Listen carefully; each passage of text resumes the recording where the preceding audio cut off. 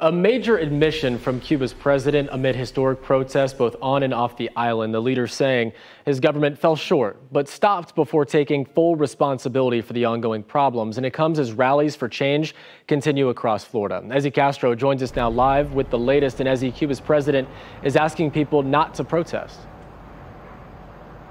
Well, Justin, the government says they are changing some things, adding that travelers can now bring food and medicine without paying customs, but the people there stress that won't be enough help.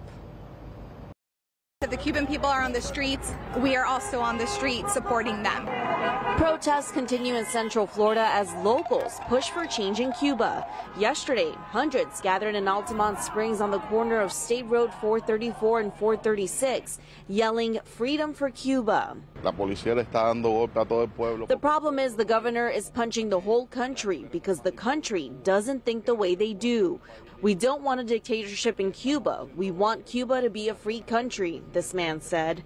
Cuban President Miguel Diaz-Canel says he's taking the blame for some of the things that's happened on the island, but also called on people not to protest. He said, quote, we must also gain experience from the riots. We also have to make a critical analysis of our problems, overcome our disagreements between all of us.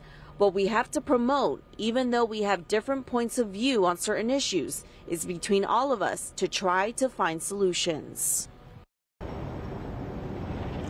And we actually spoke to a local Cuban business owner yesterday. He says this is not just about the lack of food and the lack of medicine, but more so the fight for a free country. Live in Altamonte Springs, Ezzy Castro getting results, News 6.